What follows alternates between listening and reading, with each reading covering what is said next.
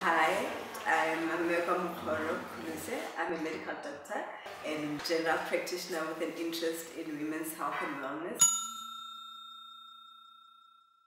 Owning my business has helped me to sort of embrace all of me because for a very long time I struggled with um, the career choice that I had made.